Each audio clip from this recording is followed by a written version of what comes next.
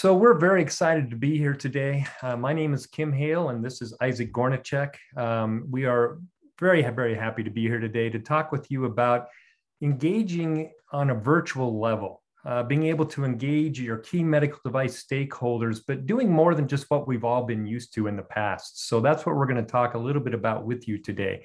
So let me introduce each, uh, both Isaac and myself here so that you guys have a little better idea of, of who you're talking with.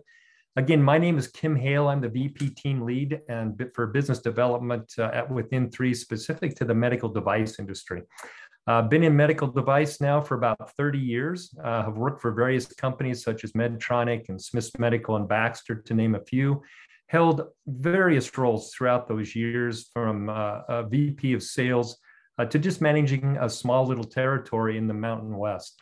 Uh, I'm based out of Salt Lake City, Utah, and I've been within three now for about a year and three months, and I've loved every minute that I have been here. Isaac?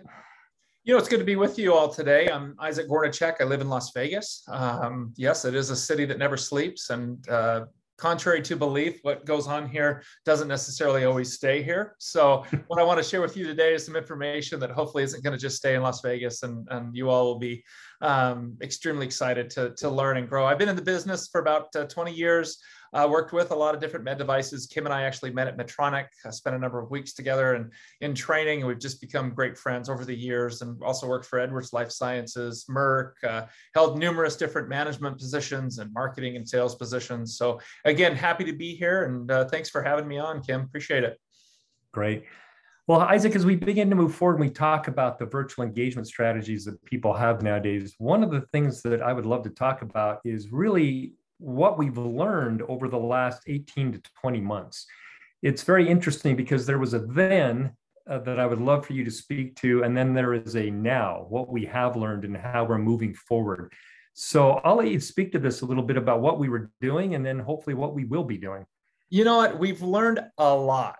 And I think more of us have learned more than others. And I think it's starting to really show as we we get into this pandemic and, and uh, uh, move and shift. But you know, one thing about Within Three is that we've been doing this for a number of years, um, 13, 14 years uh, to be exact. And really, what Within Three has, has attempted to do and tried to do and has been successful at doing with many, many companies is that they take a look at what works well, but also really what strategy isn't working so well and especially when it comes to more of a hybrid learning. We've seen that and we see this all the time, Kim, that Kim, that there's mostly a, a one-to-one um, choice, that it's either or, that it's a, a one-time event, that it, there's one way to do it. You know, right, in the past, it was either where you're going to do a live session or we're going to do a webcast. But typically, we didn't see a lot of that both were being done um, at the same time, especially not like we see in, in today's world. And oh, by the way, virtual just means webcast, right? How much interaction uh, did we really see um, during a, a webcast? I can tell you, as being a manager of a, of a team of 25 clinical and sales folks, our webcasts, our Monday morning webcasts, usually considered myself and maybe one other person having a conversation and 20 other 23 other people listening. I don't know how many of you in the audience could raise your hand and say yeah that, that was kind of what i've experienced as well. I will also say this that promoting was really difficult um, that you'd only get a few people that were invited. Um, I think we've all experienced this as well, where you reached out to to as many people as you knew or you could, and whether through email or text messaging or whatever. And then at the end of the day, there was just a couple of handfuls of folks that would would typically show up. Now, so what's the now, right? That's kind of the then. And I know you asked about the now. Well, now is much different than it was then. And I think that's where Within Three has done a really bang up job over the years of helping their, their clients to really understand that there's a better way. I would say a smarter way of doing things. My parents taught me long ago don't work harder, work smarter. And I held enough jobs over the years that were hard jobs um, to, to know that, hey, there's got to be a smarter way to doing it.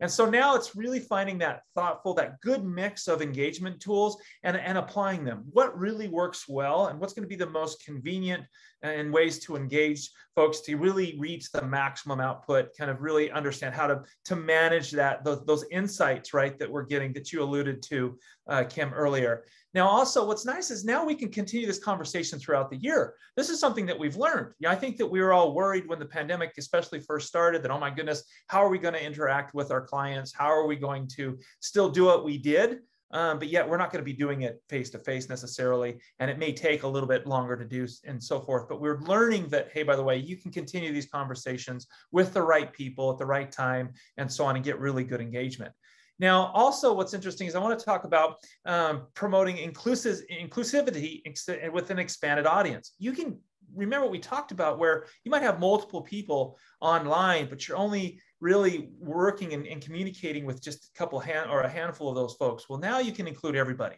You know, imagine being on a call or being using an, an asynchronous engagement, which we're going to talk a lot more about, and being able to get 100% participation. I know a lot of you are probably shaking your head like, no, that's not going to happen. I've never had that, nor will we ever have that. But guess what? The now is that you can have that happen. And the now is you can hear from more folks. You can expand your audience. You can reach people that you've never been able to reach before. And so, Kim, these are really some of the things that we've been able to, to learn and grow from. But let me ask you this, though. We talk about KOL management and tools and hybrid and so on. So I want to ask you really, what does that toolkit look like um, today? You know, it's it's interesting because, like you just mentioned earlier, really just 18 months ago, there were two ways to engage with people. One was our live one-on-one face-to-face meetings, and we all did a bunch of those uh, every single week, every single month, and, and well, you know, every year prior to 2020.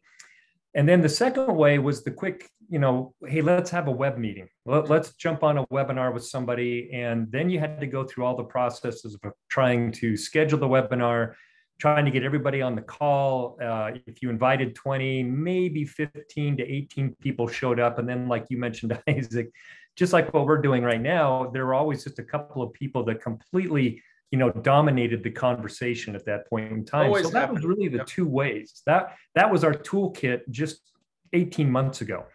Since our toolkit has expanded quite a bit we've already talked about the live in-person meetings. We've talked about being able to record a video and be able to put it on a website for people to be able to watch at a later time.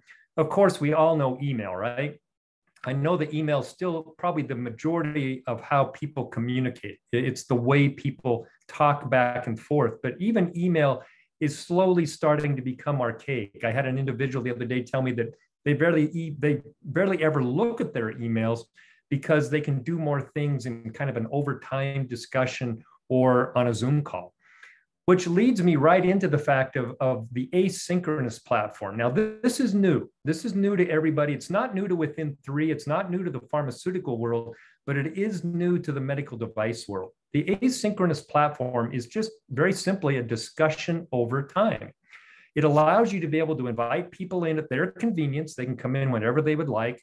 Uh, they can do it on their mobile device if they would like to do that as well. And it just allows them to be able to talk and answer questions and give feedback and provide insights in an over time platform as opposed to having to be on a specific call at a certain time or having to take time away from their practice or the hospital or their family to be at a live in person meeting.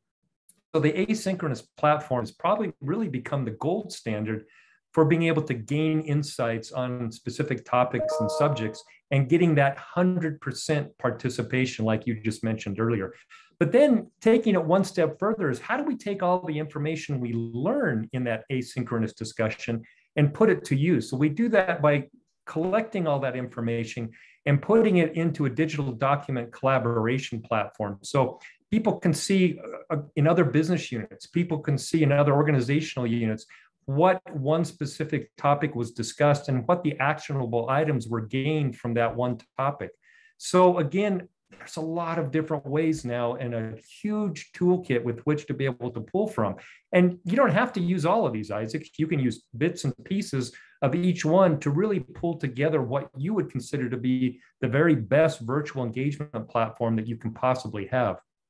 So let me just ask you this too, Isaac what is it that you would consider uh, that we have seen really in the virtual engagement platform?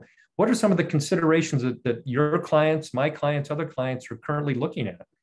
You know, it's it's a really good question, and I think and some folks are considering it. Some of folks, some folks have actually done it, and they're they're moving beyond just considering it.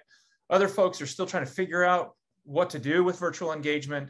It's very new for their company. It's a it's a it's a break from what they've done in the past. But we are seeing more of a proactive approach versus reactive, right? Especially going back 18 to 20 months. Take COVID, for example. We didn't know a lot about it. And so going back to February of last year, there was a ton of reaction, right? Masks on, mask off, um, and so on. Then we moved to the vaccine. Do we take the vaccine? Don't we? What, there was very little science. We just, and so there took a lot of, of work that went in before people finally started to be a lot more proactive with things. And I think it's the same way in a world of virtual engagement we have all of the information now. We have the studies, we have the data, we have the experience of running multiple thousands and thousands of sessions that are showing us that, hey, being proactive with a virtual engagement strategy is much more effective than just simply reacting to sitting back and just allowing it to, to, to and, and then trying to, to react to something that you're, you're trying to play catch up to. We've also seen that now there's much more of an expanding engagement opportunity. There's a lot of different ways to engage that, unlike we've ever had um, before. And so I think it's key for folks to really take a look at what they're currently doing or what they did in the past, what they currently are doing, and really what does their future look like? We're already moving into Q4 of the calendar year for 2021. What does 22 look like? You know, there's got to be sessions and different uh, advisory boards, for example, that are being planned. And ultimately, how are those going to be? How are they going to take place? And what's going to be the most effective way to to, to bring them right and, and to invite people and so on and so forth? We know update, updated security and compliance is important. We've seen a lot more emphasis on this. I don't think I need to hammer that point home at all, Kim, but it's definitely something that we have to think about depending on the virtual platform that we're using, our approach. Um, is it right for our company? Who's engaging? Is it internal? Is it external? There's a lot of different things that we have to think about more so than just, hey, is this a safe environment for us to talk? Um, and then again, I touched on already uh, planning for the future and really what does that look like? So and I so, think it's kind of interesting, right? Of what what the considerations are. And I mean, you see it every day, you know, what some people. Yep. Well, let me ask you a question then. If we've got a great toolkit with which to pull from now, and we're seeing what people are right now considering uh, for their virtual engagement, maybe as, as opposed to looking at how this virtual engagement comes together, but ultimately, what is the goal of the virtual engagement? I think we've spent so much time talking and worrying about how we're going to set up a, a you know webinar a zoom call a GoToMeeting a webex a teams meeting. We spent so much time trying to get everybody uh, and all their schedules worked out so that somebody in new york city can be on the call with somebody in china. We've spent so much time putting into that that we've lost the focus of what it is exactly that we want to try to solve with this virtual engagement. So if you take this this considerations, you take the toolkit. What does an actual virtual session look like, Isaac? How does that come together? You know, good question. And I'll, you know, let me share this with with everybody because you're right. I mean, how do we bring people together in different time zones, different continents, different, right, different cultures, different languages, all of that. And if this particular uh, example of a virtual hybrid discussion is really, really work bodes really, really well for that approach. And typically, what a hybrid discussion consists of is a kickoff webcast. I think everybody's really good at doing this part. But what's really the differentiator, and I think really makes the biggest difference in impact, is this async session that also starts at the exact same time that this webcast happens. And this Q&A, the insights, the discussion, whatever the scope of work is that you're working on, it could involve advisors and moderators and working together, collaborating, communicating back and forth, all being done asynchronously. And then maybe by day 10, day 11, you have a webcast. You have another webcast because I think it's important to still bring folks together. And what we've seen, Kim, by the way, is that second webcast, there's a lot more participation on that one than there is in the first one. Why? Because people have already been communicating for 10 days, talking back and forth. So when they get on a webcast, they already feel like they know each other. And they've already in that, that they're a lot further along than they were on day one.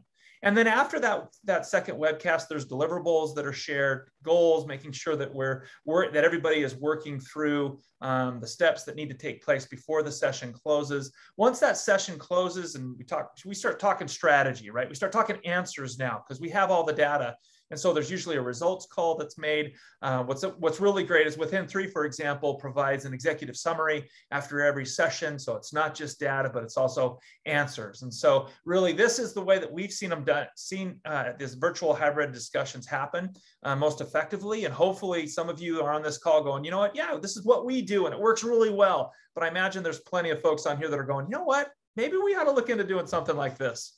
So, but let me ask you this, Kim. I, I, I got to ask you this question. So now we have a little bit of a better idea of what these hybrid you know discussions look like and we've talked about the net the then and the now but so now this poses a question hey what opportunities do clients reference really when they're when they're taking a look at their virtual engagement strategy you know, I, I love the word here is the opportunities because there has been multiple opportunities that have been gauged uh, that we've all, you know, seen over the last 18 months. It hasn't all been a huge step backwards. Maybe it has because we didn't get to stand around the water cooler.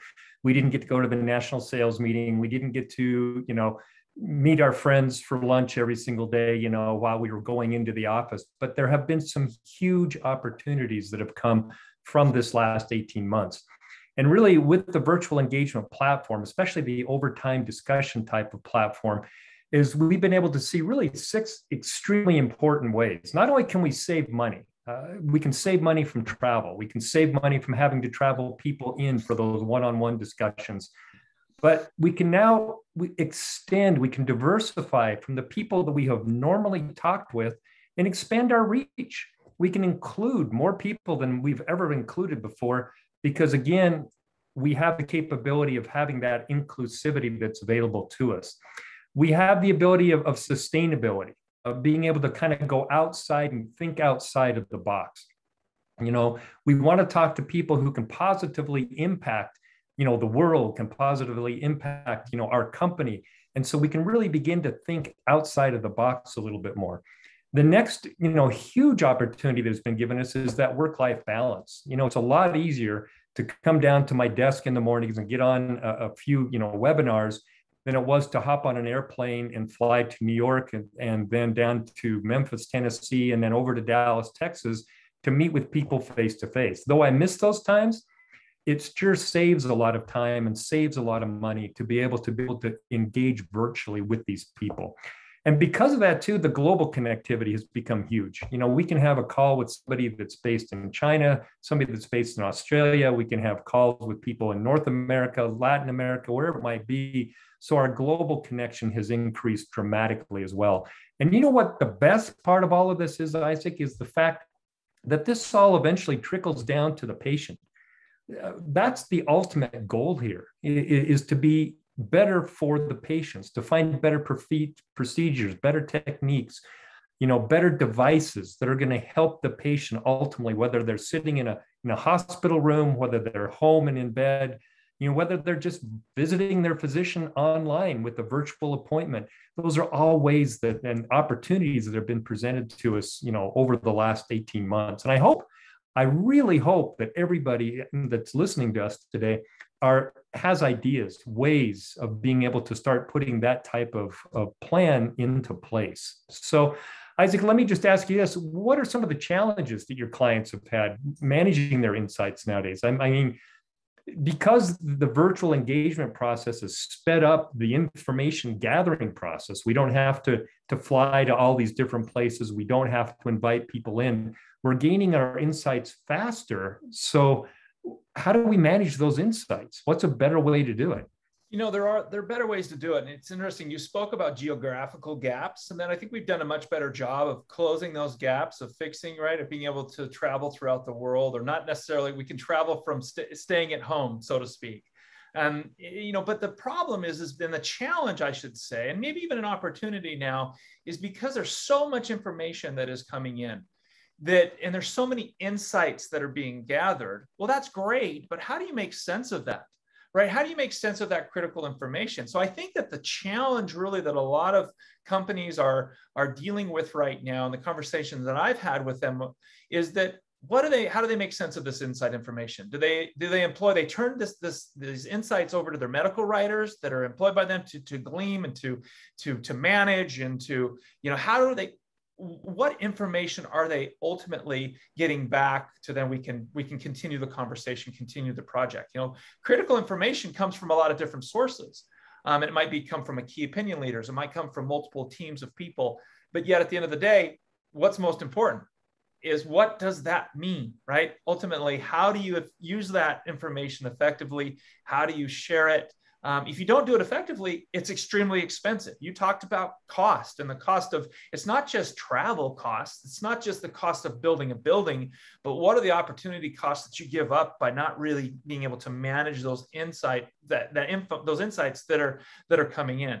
I think it also boils down to selecting the right people. Kim, I think this is a challenge that uh, that companies have, especially when they're taking a look at engaging key opinion leaders. I think that it's also choosing the right venue. I think we've already touched on this point, but it's like how often did we, a majority of the time was spent on what hotel are we going to go to? What food is going to be there? What does the agenda look like?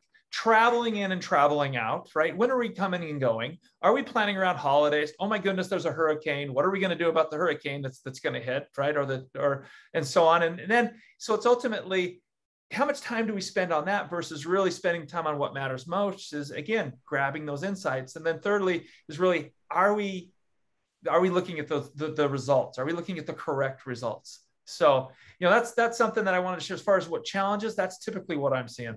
So.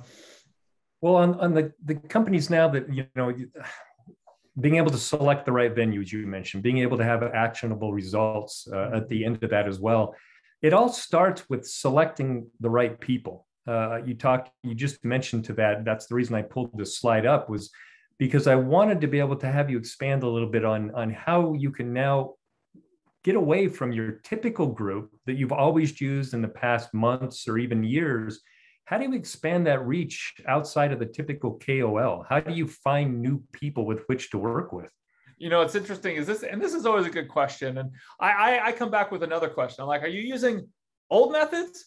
Are you using kind of the new normal, the new methods, right? Which, which are taking into account all of this artificial intelligence that we're able to gather nowadays? Are you looking at social platforms? Are you looking um, really, are you seeing the unseeable, necessarily the invisible colleges that are out there? You know, are you truly expanding your reach beyond what you've just typically, typical lists have been, right, in, in the past? I think that's important. And really, it is like, can you identify who do you want at that table? Is it typically you're just inviting those at the table that have t- typically come?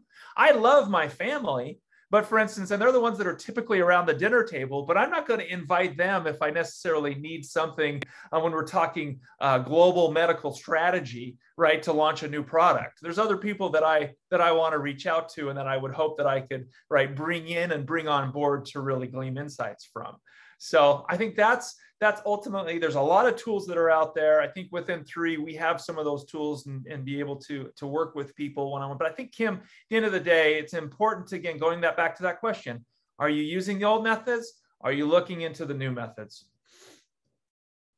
And let me ask you this though, because I mean we talked about a lot of things today, but so now we get to the point of hey, what are companies thinking? And so how how will companies rethink the future of engaging with med device customers and role and ultimately what is their contingency plan?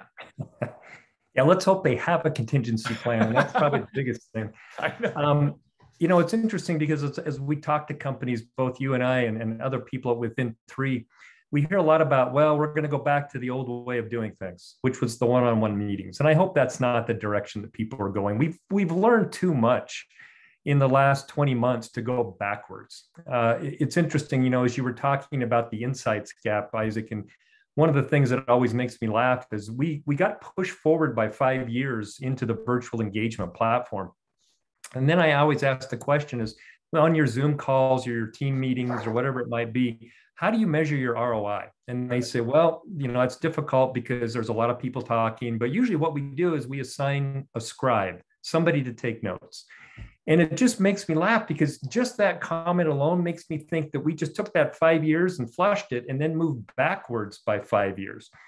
Because there are better ways of doing things. There are better, you know, if, if a fly buzzes around the note taker's head and they miss five to 10 seconds of that most important part of that critical meeting, then what happens? I'm, I'm sorry, Kim. I'm, I'm, I'm, sorry, Kim. What did you say? I got distracted.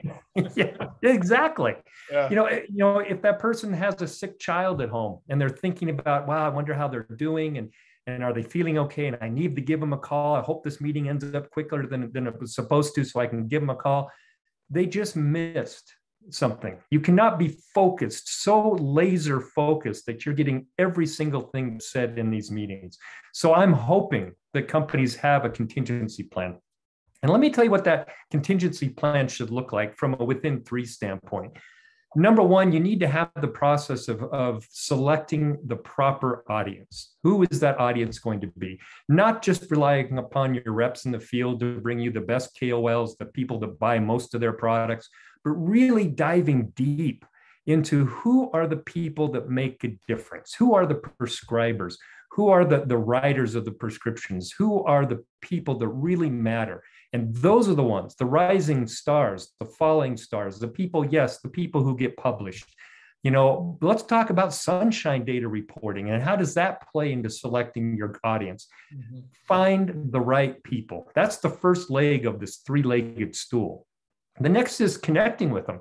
How do you connect with them? You take them out of their practice and bring them into a, a meeting, a one on one meeting? No, most physicians aren't going to do that anymore. So, what we do in the very most effective way to do this is an asynchronous or overtime discussion. That's what you're looking to do. Allow them to come in at their convenience. Allow them to, to be able to participate and not only answer questions, but add to those questions as they have additional thoughts, maybe a day or two days later. Whereas on a Zoom call, you, you, your best thoughts always occur after the call has closed you know? And then lastly is being able to take those insights that you've gained from this overtime discussion and provide answers answers to the topic.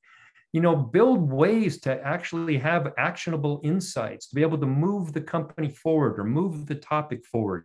You know that's what this is about. And not just taking literally hundreds of pages of transcript but condensing that down to, to an executive summary that can be used immediately to help make decisions that's an insights management platform. That's exactly what Within Three can provide. And, and hopefully, if some of you have questions and ideas or would like to talk to more with us about this, Isaac and I would love to be able to do that. So, any questions that you guys might have, you know, we would love to be able to, to answer those for you. So, what I'm going to put up here is a slide really quick that has both Isaac and I's information on it please feel free to reach out to us via our phones or via email that you see right here. It's just first, first initial last name at within3.com, and we would be extremely happy to answer any questions that you might have. So for everybody that, that watched this today, thank you very much for your time. We very much appreciate it.